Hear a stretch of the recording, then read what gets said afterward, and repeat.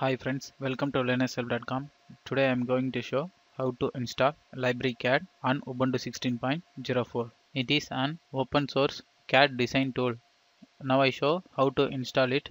At first you must add LibreCAD repository file by using add apt repository command like this. Type the command, after that hit enter. Now press enter to continue add that repo.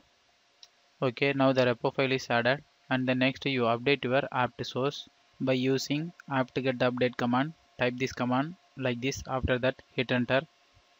Okay that's it friends. Now update process is completed. Then next you can install that LibreCAD tool by using apt-get install command like this. Type the command. After that hit enter. Now it's ask confirmation. You just give y for continue that installation.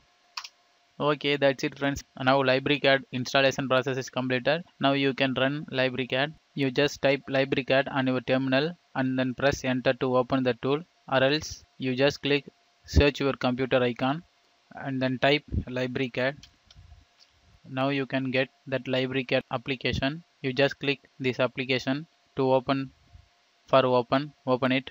Okay now at first you can get welcome wizard like this. You select your language. I choose english and then select your command language. Then click ok okay that's it friends. Now LibreCADs open. Uh, here you have multiple options for your designing. You just click new icon for add a new window. Now you can able to see that. Okay now i draw some samples. And now i choosing circle pointing. This is my sample design.